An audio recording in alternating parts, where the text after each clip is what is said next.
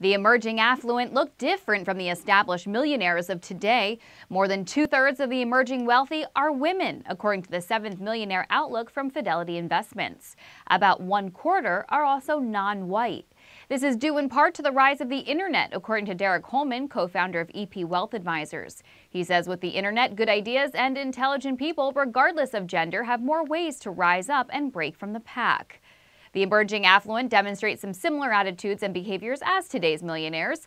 Some 31% of the emerging affluent are concerned about supporting their desired lifestyle in retirement compared to 32% of millionaires. However, one way that established millionaires differ from the emerging affluent is that 40% hold alternative investments compared to only 20% for the emerging affluent. 20% were invested in derivatives compared to only 9% of the emerging affluent, and 42% are invested in emerging market securities compared to only 29%. Yet emerging affluent investors have time to learn. On average, they're just 40 years old. In New York, I'm Brittany Umar for The Street.